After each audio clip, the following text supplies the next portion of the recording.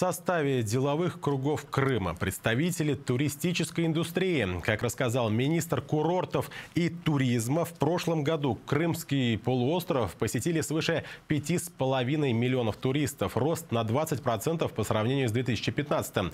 Что же касается туристов из Башкортостана, их количество, по оценке экспертов, в этом году вырастет почти на четверть.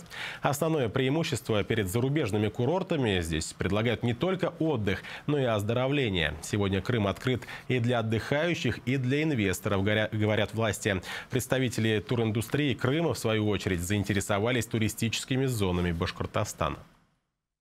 Башкирия пришла одна из первых на помощь Крыму. В 2014 году мы очень ценим это, мы очень благодарны и жителям, и руководству Башкирии. И мы надеемся, что башкирский бизнес найдет свое место на территории Крыма, при том в преддверии уже в следующем году открытия нового аэропорта, который даст возможность увеличить туристический поток 6,5-10 миллионов туристов. И открытие нашего Крымского моста, который мы ждем, который в корне поменяет всю ситуацию на полуострове, потому что возможности, которые таит в себе вот данный логистический узел, они просто колоссальные.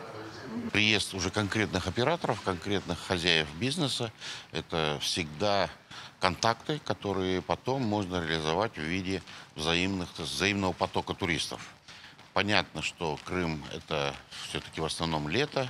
А мы же их приглашаем на э, ближе к межсезонью и на зимние виды отдыха.